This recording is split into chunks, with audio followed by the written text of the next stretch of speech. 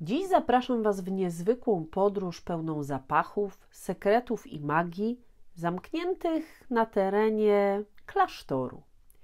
To tam toczy się bowiem akcja nakręconego w 2006 roku filmu pod tytułem Jasminum, o którym chcę Wam dzisiaj opowiedzieć.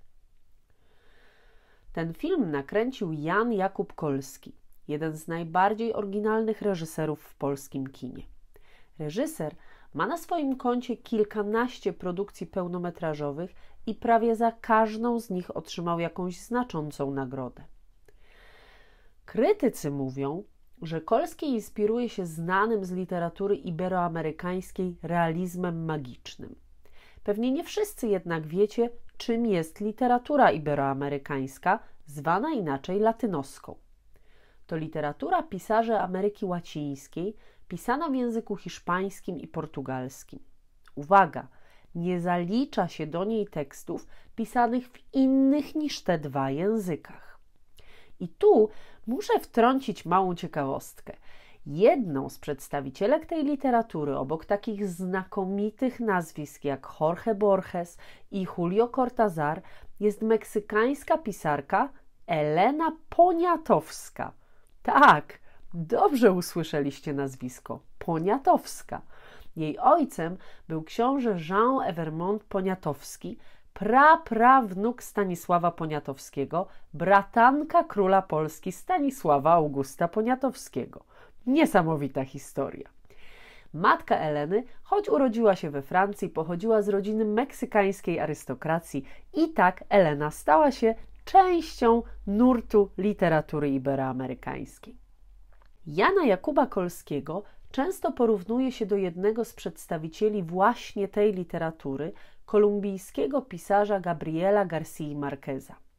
Być może go znacie. Jedna z jego najpopularniejszych książek to Sto lat samotności czy Miłość w czasach zarazy. Pamiętajcie, że Marquez jest laureatem Nagrody Nobla w dziedzinie literatury za powieści i opowiadania, których fantazja i realizm łączą się w złożony świat poezji, odzwierciedlającej życie i konflikty całego kontynentu. Pewnie się zastanawiacie, jak to się stało, że polski reżyser zainspirował się tak daleką kulturą. To ciekawa historia. W Polsce w latach 70. była cała generacja młodych ludzi, którzy fascynowali się właśnie literaturą iberoamerykańską. Tej fascynacji uległ również Jan Jakub Kolski, urodzony w 1956 roku reżyser Jasminum, który wchodził wtedy w dorosłe życie. Ta literatura, tak odmienna od tego, co publikowane było wtedy w Polsce, dawała pewnie młodym ludziom w latach 70. namiastkę podróży, inności i ciekawych przeżyć. Ale wróćmy do filmu. Jak już wiecie, akcja dzieje się w klasztorze, czyli miejscu odosobnienia, w którym mieszkają zakonnicy. Filmowy klasztor to ogromny budynek z labiryntem korytarzy i wieloma salami pełnymi starych książek, obrazów i dokumentów. Na zewnątrz jest podwórko, po którym biegają świnie i kaczki.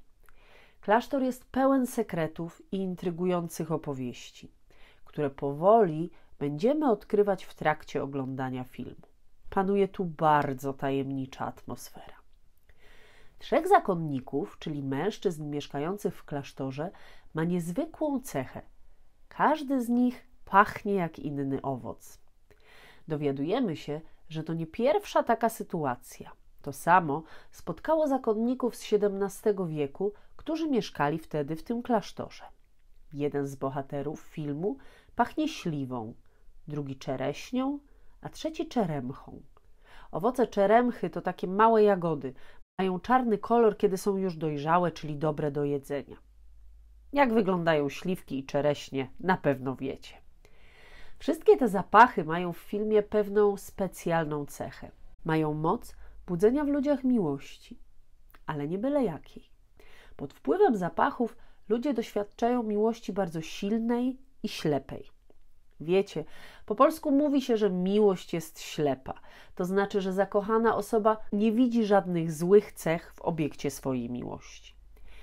Jakby tego wszystkiego było mało, dyrektor zgromadzenia, brat Kleofas, wierzy, że jeden z mężczyzn ma zostać świętym. Czeka więc na cud i znak od Boga. Ma on w jakiś sposób poinformować go, którego brata wybiera. I tak toczy się spokojne, klasztorne życie, w otoczeniu magicznych zapachów i w oczekiwaniu na cud. Ten spokój nie trwa jednak długo. Wszystko się zmienia, kiedy u bram zgromadzenia pojawiają się nieoczekiwani goście w postaci kobiety, Nataszy i jej kilkuletniej córki. Wtedy dotychczasowe życie braci wywraca się do góry nogami. Wszystko drastycznie się zmienia. Natasza to konserwatorka dzieł sztuki. Przyjechała do klasztoru, żeby odrestaurować kilka świętych obrazów. Razem z nią przyjechała jej córka, pięcioletnia Gienia. Co ciekawe, dziewczynka jest też narratorką całego filmu. Komentuje dla nas wszystkie wydarzenia i robi to z typową dziecięcą naiwnością. Postać Gieni, ciekawego świata dziecka, kontrastuje z dojrzałością zakonników i pozostałych bohaterów. Dzięki jej obecności historia zyskuje dodatkowy plus element dziecięcej magii w tej i tak już intrygującej fabule. Do tego jej intuicja doprowadzi do rozwiązania głównej zagadki filmu, ale na to trzeba jednak będzie trochę poczekać. Początki bywają trudne. Tak samo jest w tym przypadku. Przyjazd Nataszy i Gieni zupełnie nie wzbudza w mnichach entuzjazmu, wręcz przeciwnie. Ich ciszę nagle zakłóciły nowe kroki, chaos i wiecznie rozgadana Gienia. Co się dziwisz? Pyta dziewczynka co chwilę. Jej urok i dociekliwość wprowadzają wiele zamieszania w spokojne dotąd życie pobożnych, żyjących zgodnie z zasadami, które wyznacza im religia mnichów. Z czasem stosunek braci do kobiet się zmienia. Widzimy, jak zaczynają się między nimi rodzić pozytywne, ciepłe uczucia. Gienia szczególnie zaprzyjaźnia się z jednym z zakonników, z bratem Zdrówko. Zdrówko zajmuje się na co dzień klasztorną kuchnią i sprawami biurowymi. Swoimi codziennymi problemami dzieli się z figurą świętego Rocha, który jest patronem klasztoru. Dzięki temu, że Gienia spędza dużo czasu z zakonnikami, Natasza może zająć się obrazami. Okazuje się jednak, że nie tylko odnawia dzieła sztuki. Kobieta komponuje również zapachy i interesuje się tymi wydzielanymi przez mnichów. No bo w końcu, jak to możliwe, żeby zapachy miały taką moc? Natasza stara się rozwiązać ich zagadkę. Doprowadza ją to do odkrycia wielu sekretów, które skrywa klasztor i wielu historii, które się tam wydarzyły na przestrzeni wieków. To jednak wciąż nie wszystko.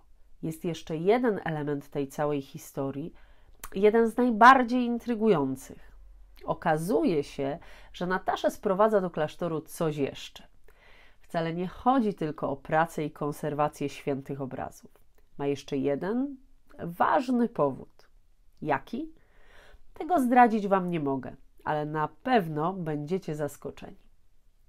Jasminum ciężko jest jednoznacznie sklasyfikować.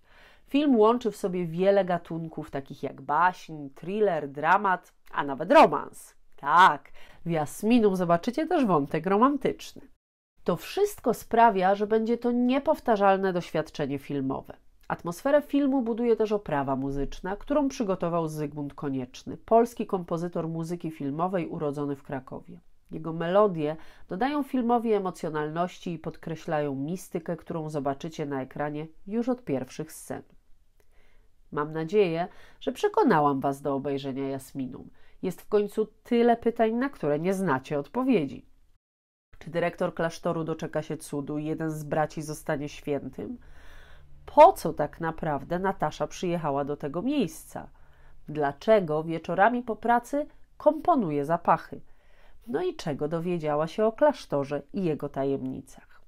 Jeśli chcecie znać odpowiedzi na te pytania, koniecznie obejrzyjcie Jasminum. Tekst dzisiejszego odcinka przygotowała dla Was Marta Burza. Miłego seansu i do usłyszenia w następnym odcinku polskiego filmu dla początkujących. Pamiętajcie, że różne ciekawostki związane z językiem i kulturą polską znajdziecie także w serwisie Facebook i Instagram oraz w innych filmach Polskiej Półki Filmowej. A jeśli chcecie wspomóc działanie kanału Polska Półka Filmowa, zajrzyjcie do serwisów Buy Coffee 2 albo Buy Me Coffee.